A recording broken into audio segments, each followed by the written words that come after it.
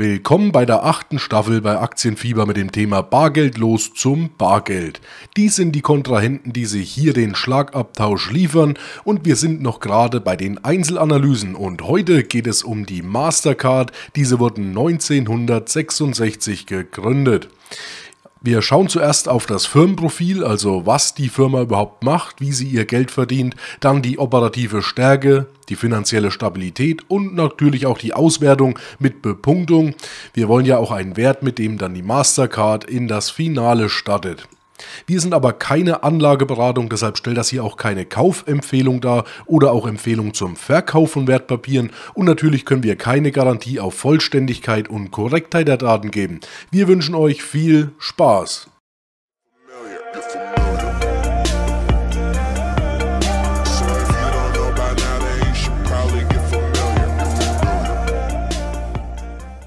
Kommen wir noch zum Chef von Mastercard und dieser heißt Ayapal Singh Banga und ist seit 2010 der CEO. Er stammt aus Indien, konnte dort auch die ersten Erfahrungen sammeln, unter anderem bei Nestle im Junior Management und ist dann zu Pepsi gewechselt. Damals war ja noch Pizza Hut und KFC unter Pepsi Co. Und dort hat er eben das Geschäft für den indischen Markt quasi ähm, vorbereitet und hat dies geleitet und ist dann aber später in die Finanzwirtschaft, unter anderem zur Citigroup Group, hatte dann 2005 übrigens auch die Leitung des internationalen Finanzgeschäftes der Citibank inne und ist dann eben im Anschluss zu Mastercard gewechselt, natürlich mit dem Auftrag, eben Marktanteile von Visa zu erobern. Er ist auch ein Mensch, der bei einigen Gremien den Vorsitz hat, unter anderem beim US-India Business Council, bei dem eben über 300 große internationale Firmen ähm, sind, die eben in Indien investieren. Er ist auch Vorsitzender der Internationalen Handelskammer seit 2020 und ist auch im Ausschuss, ähm, im beratenden Ausschuss des Präsidenten für Handelspolitik und Verhandlungen, also wurde damals von Barack Obama dazu berufen. Auf jeden Fall ähm, doch ein recht erfahrener Mann. Wenn wir mal auf Mastercard schauen, muss hier dazu gesagt werden, dass Mastercard hier ein reines Lizenzgeschäft betreibt, also absolut vergleichbar mit Visa und im Gegensatz zu American Express und PayPal keine Risiken trägt. Also zumindestens äh, was den Endkunden betrifft. Und hier ist natürlich ein Riesenvorteil ähm, für Mastercard und natürlich auch Visa, da das, das Risiko bei dem Transaktionsgeschäft letztlich bei der Bank liegt. Also diese vergeben lediglich lediglich einerseits die Kreditkarten, also die Lizenzen für die Kreditkarten. Die Bank muss sie dann selbst ausgeben oder ähm, eben Lizenzen für die Anwerbung von Vertragsunternehmen, also die Akquise quasi. Aber sonst ist eben hier kaum ein Risikofaktor und die Margen natürlich von so einem Geschäft sind auch recht hoch, da eben hier auch kaum ähm, Produktionskosten und ähnliches anfallen. Die, der Umsatz nach Region ist hier auf jeden Fall auch ähm, ziemlich US-lastig mit 33 Prozent, allerdings 67 Prozent eben im Rest der Welt zu finden. Diese Übersicht habe ich übrigens von marketscreener.com.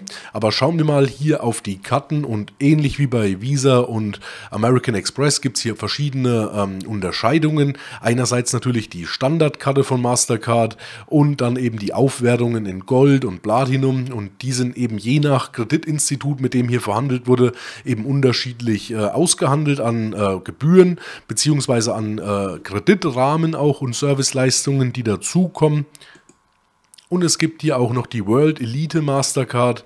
Also dieses natürlich ähm, quasi die ähm, Deluxe-Edition, die aber auch äh, so ziemlich äh, jeder andere rausbringt. Also bei Visa war das ja ähnlich und auch bei American Express. Aber interessant finde ich hier persönlich auch die ähm, Mastercard Prepaid, bei dem man eben hier aufladen kann. Also die funktioniert als Debitkarte quasi. Die lädt man auf und kann die dann eben ähm, verbrauchen. Und man kann hier keinen Kreditrahmen überziehen quasi. Und seit äh, August 2019 ist auf jeden Fall bekannt geworden, dass Mastercard einen Teil von Concardis für knapp 3 Milliarden Euro übernimmt, was hier auch recht interessant ist. Ist ein deutscher Finanzdienstleister, also hier wurde auf jeden Fall auch viel Geld in die Hand genommen. Also wen das interessiert, würde ich hier mal empfehlen, mal zu recherchieren. Hier erweitert auf jeden Fall Mastercard nochmal sein Portfolio. Die Debit Mastercard ist natürlich hier ähm, quasi die Standardausführung, also quasi die Debit Debitkarte, die so ziemlich jeder in seinem Portemonnaie hat, bloß eben jetzt hier von Mastercard. Ähm, herausgegeben. Letzten Endes ist es hier eben der Unterschied, habe ich ja bei Visa schon mal erklärt, ist die Debitkarte quasi ähm, direkt vom Konto, von, von dem Vertragskonto eben die Transaktion erledigt und hier kein ähm, Kreditrahmen existiert, sondern eben komplett alles über das Transaktionskonto stattfindet, während bei einer Kreditkarte, die herausgegeben wird, eben einmal im Monat quasi ähm, eine Abrechnung stattfindet und bis zu dem Zeitpunkt kann man eben bis zur Ausschöpfung des Kreditrahmens hier eben einkaufen. Das ist so ziemlich auch der Unterschied. Schauen wir uns mal die operative Stärke an und beginnen mit dem Umsatz der letzten 10 Jahre und die Erwartungshaltung von MarketScreener.com für die nächsten drei, also inklusive dem aktuellen Geschäftsjahr 2020 und wir sehen eine ordentliche Steigerung des Umsatzes. 2020 soll das Ganze wieder mal etwas rückläufiger sein, aber auch hier wohl gut zu erklären, auch durch ähm, den ganzen Corona-Lockdown beziehungsweise der Tatsache, dass hier auch weniger Transaktionen stattgefunden haben dieses Jahr, aber das soll auch auch schnell wieder sich erholen, wie man hier sieht, und der Aufwärtstrend soll fortgeführt werden. In Prozent gerechnet sehen wir hier, dass die meisten Jahre auch wirklich viel äh, gesteigert werden konnte, also über 10 Prozent auf jeden Fall. Und 2020 hier eben ein Minus von knapp äh, 7 Prozent eben. Aber das Ganze soll wieder auf äh, Hochtouren weiterlaufen, also 12,89 Prozent im Schnitt von den letzten 10 Jahren und 9,03 für die Prognose. Dafür geben wir für beide volle Punktzahl. Die Bruttomarge ist bei 100%, da keine äh, Produktionskosten angegeben wurden bzw. keine angefallen sind. Dafür gibt es natürlich die volle Punktzahl. Und die operative Marge ist natürlich, wenn man alle anderen Kosten abzieht, wie eben zum Beispiel Verwaltungskosten und Forschungskosten und ähnliches. Wir kommen hier auf eine sehr hohe Marge, über 50% und auch recht stabil. Also hier natürlich auch volle Punktzahl. Die Gewinnkontinuität ist bei Mastercard auch gegeben, also wir haben kein einziges Verlustjahr dabei und auch die Prognose soll dahingehend laufen, dass dieser ähm, Aufwärtstrend beibehalten wird. Auch hier volle Punktzahl. Die Gewinnsteigerungsraten, die seht ihr hier. Also auch hier wurde die meisten Jahre hinweg sehr viel ähm, an Gewinnsteigerung ausgewiesen. Also auch 2020 soll das zwar etwas rückläufig sein, aber wie wir schon an dem Diagramm vorher gesehen haben, ist das kaum bedrohlich. Also 19,3% ist der Schnitt der letzten 10 Jahre und 10,18 die Prognose. Dafür gibt es natürlich die volle Punktzahl. Der Gewinn pro Aktie konnte hier auch gut gesteigert werden die letzten Jahre, dementsprechend auch hier volle Punktzahl. Die Abschreibungen zum Umsatz sind hier von 2011 auf 12 rasant angestiegen, bewegen sich aber hier nun auf ein recht stabilen Niveau. Wir geben hier mal die Hälfte der Punkte. Der Free Cashflow zum Umsatz, dieser läuft in einem sehr hohen Niveau, also über 35% in den meisten Jahren. Das ist natürlich ordentlich, wir geben volle Punktzahl. Der Return on Assets ist hier auch in einem sehr vernünftigen Rahmen, also über 10% in den meisten Fällen und 13,7 ist jetzt der Schnitt. 2019 lag er bei 13,21, das ist ordentlich und dementsprechend volle Punktzahl. Die Eigenkapitalrendite ist hier auch in einem recht hohen äh, Niveau, also 21,24% im Schnitt und 21,29% im Jahr 2019, also das ist okay und sehr gut, volle Punktzahl. Schauen wir mal auf die finanzielle Stabilität. Und wenn wir hier genauer hinsehen, finden wir ein Eigenkapital von nur 20%. Also da können wir schon mal keine Punkte geben.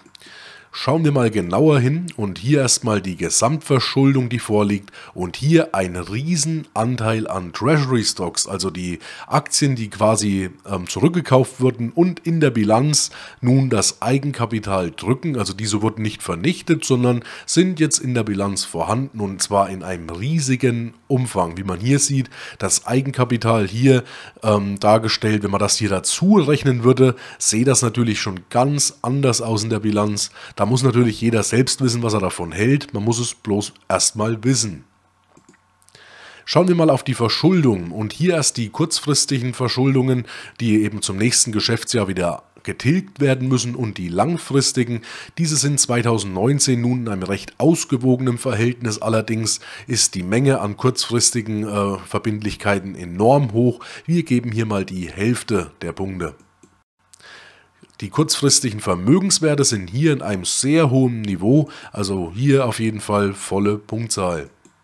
Der einbehaltene Gewinn, also die Gewinnreserven, laufen hier ins Negative. Und das ist natürlich etwas, wo ich persönlich etwas äh, bedrohlich finde. Also dementsprechend hier auch keine Punkte. Die Ausschüttungen sollten unter dem Free Cashflow Niveau liegen, also schauen wir mal erstmal auf dem Free Cashflow. Und hier sehen wir Dividendenzahlungen, die auch konstant gesteigert wurden und Aktienrückkäufe. Und hier wird es natürlich etwas knapp mit der Rechnung. Wir liegen hier in dem Schnitt 82,43% und 2019 bei 103,5%, also vom Free Cashflow wurden ausgeschüttet und dementsprechend ist das schon sehr, sehr grenzwertig. Also bei unserem Schema sollte unter 75% ausgeschüttet werden. Hier liegen wir natürlich deutlich darüber und 2019 sogar ähm, mit 103% äh, mehr wie vorhanden war, also dementsprechend hier auch keine Punkte. Der Goodwill zum Eigenkapital ist hier die letzten Jahre auch ziemlich angestiegen, 91,9%. Also das gibt natürlich hier auch keine Punkte unsererseits. Und schauen wir mal auf die Verschuldung. Hier existierten Cashbestände von 8,26 Milliarden US-Dollar und eine Netto, äh, eine Finanzverschuldung von 8,527 äh, Milliarden. Das macht also 267 Millionen US-Dollar an Nettofinanzverschuldung. Und schauen wir jetzt mal auf die Kennzahlen. Zum einen hier das Fremdkapital geteilt durch den EBIT mal 4. Also schafft es die Firma in vier Jahren mit seinen operativen Einnahmen das Fremdkapital zu tilgen. Und hier kommt 0,6 heraus. Das ist auf jeden Fall gut. Also sie würden es definitiv schaffen. Das Current Ratio liegt auf 1,42. Es existieren also mehr kurzfristige Vermögenswerte wie Verbindlichkeiten. Allerdings noch nicht in einem stabilen Niveau. Also wir geben hier die Hälfte der Punkte. Das Gearing liegt bei 0,05. Also hier wird die Nettofinanzverschuldung mit dem Eigenkapital verrechnet und dieser Wert ist sehr niedrig. Hier würden sogar viele Analysten sagen, Mensch, da kann die Firma definitiv mehr Schulden aufnehmen, um quasi äh, den Leverage-Effekt äh, mehr zum Geltung kommen zu lassen, also mehr zu hebeln. Aber hier geht es ja um Stabilität, daher volle Punktzahl. Der dynamische Verschuldungsgrad liegt mit 0,04 auch sehr niedrig, volle Punktzahl. Und der Anlagedeckungsgrad liegt bei 0,48, dafür gibt es auch die volle Punktzahl. Kommen wir nun noch zur Auswertung, aber stopp, lasst ruhig mal ein Gefällt mir da, wenn euch das Video gefallen hat und natürlich ein Abo, um den Kanal zu supporten und um kein Video mehr zu verpassen. Wir sind übrigens auch auf Facebook und Instagram zu finden, also wenn ihr Lust habt mit uns Kontakt aufzunehmen oder einfach um die Sache zu unterstützen, drückt auch mal hier auf Abonnieren, wir würden uns freuen. Mastercard hat bei der operativen Stärke sehr punkten können, also bis auf die Abschreibung konnten sie jeden Punkt mitnehmen. 97% macht das aus bloß die finanzielle Stabilität. Hier habert es, die Fremdkapitalquote ist sehr hoch, es fehlen die Gewinnreserven und die Ausschüttungen laufen auch über dem Free Cashflow Niveau. Das Goodwill ist auch in einem sehr bedrohlichen Ausmaße, also im Verhältnis zum Eigenkapital, letzten Endes 40 Prozent. Wenn wir das alles zusammenrechnen, kommen wir auf 49 von 68 Punkten. Damit startet Mastercard mit 72% ins Finale. Also das wird auf jeden Fall spannend.